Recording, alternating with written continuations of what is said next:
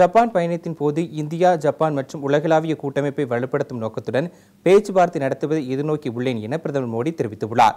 Japan பிரதமர் Fumio கிடிடாவின் அழைப்பின் பேரில் அந்நாட்டிற்கு பிரதமர் நரேந்திர மோடி இரண்டு நாட்கள் பயணம் மேற்கொண்டார். இதற்கிடையே தலைநகர் டெல்லியில் இருந்து நேற்று இரவு தனி விமானம் மூலம் பிரதமர் மோடி ஜப்பான் புறப்பட்டு சென்றார். இந்நிலையில் குவாட் உச்சி மாநாட்டில் பங்கேற்க ஜப்பான் புறப்பட்டு சென்ற பிரதமர் மோடி இன்று அதிகாலை தலைநகர் டோக்கியோ சென்றடைந்தார். தூதரக அதிகாரிகள் உட்பட பலர் பிரதமர் மோடியை உற்சாகமாக வரவேற்றனர். டோக்கியோ சென்றுள்ள பிரதமர் மோடி இந்தியா அமெரிக்கா ஜப்பான் மற்றும் ஆஸ்திரேலியா நாடுகள் இடம்பெற்றுள்ள குவாட் அமைப்பின் உச்சி மாநாட்டில் பங்கேற்கிறார்.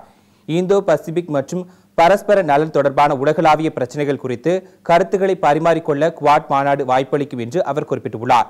ஜப்பான் பயணத்தின் போது அமெரிக்க அதிபர் ஜோ பைடனை சந்தித்து இருதரப்பு உறவுகளை மேலும் பலப்படுத்துவது குறித்து ஆலோசிக்க உள்ளேன் எனவும் பிரதமர் மோடி தெரிவித்துள்ளார்.